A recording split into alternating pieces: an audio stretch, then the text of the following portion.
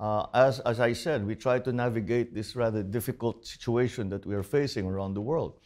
Agriculture has become a high priority for the simple reason that uh, the crisis in food uh, supply and food prices has hit us very hard. The, the, it, it is a surprise still, I think, to many of us that the, a war very far away, halfway around the world, will affect uh, food prices and food supply in a place like the Philippines. Uh, and China has already uh, been of assistance to us because we have actually had many agricultural exchanges. And I remember many years ago, in the time of President Estrada, uh, the, we were the only recipient of the rice hybrid. Hybrid rice, yeah. Yes, that was brought to the Philippines. It was actually tested. I was governor of the province then. How are they helping the Philippines? In the northern part of the Philippines.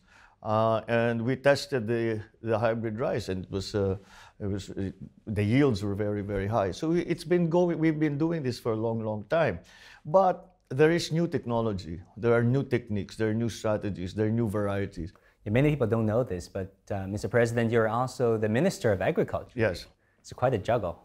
well, it is. Um, but it, I felt it was necessary because the, the situation in uh, the Philippines was, was quite severe. Mm-hmm. And we, I thought, since we had to move very quickly, I thought uh, that should be a priority. And putting having the president also uh, carry the, the uh, title and position of agriculture would make things go much quicker because I thought uh, if I put the secretary there, who is the secretary that can really get things going?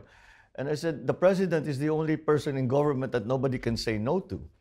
So I will go. To, I will be the. I will be the secretary, and I will make sure that it. And we have made some very serious progress we were very worried that at the end of last year, there would be some severe short shortages in terms of food supply, and we were very worried about the increase in prices.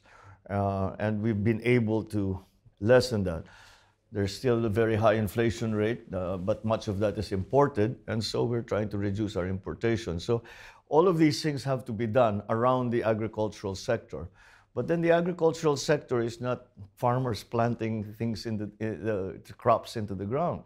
Uh, agriculture sector includes also fisheries, includes um, also livestock uh, uh, um, growing.